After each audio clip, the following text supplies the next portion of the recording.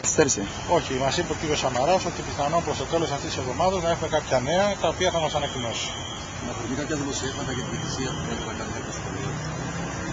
Εννοείται, τι Του γράφουμε; Παναθηναϊκού. Τι να πω τώρα, ε, δηλαδή αυτά είναι τα ίδια και τα ίδια. Έχουμε βαρεθεί να ακούμε για δημοσιεύματα για διαιτησία για τον Παναθηναϊκό. Ο Παναθηναϊκός φέτος και πέρσι έχει ρίξει πάρα πολλά λεφτά σε μεταγραφές όπως γνωρίζετε. Έχουμε επενδύσει πολλά λεφτά σε ποιοτικούς ποδοσφαιριστές και αυτό φαίνεται μέσα στο γήπεδο.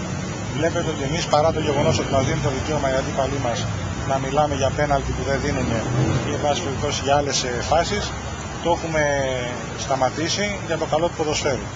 Λοιπόν, για κάποιο λόγο τώρα ξαφνικά βγαίνουν και λένε διάφορα καραγκιόζηλικια. Λυπάμαι πάρα πολύ γι' αυτό. Εμείς ελπίζουμε μέχρι το τέλος να πετύχουμε τους στόχους μας.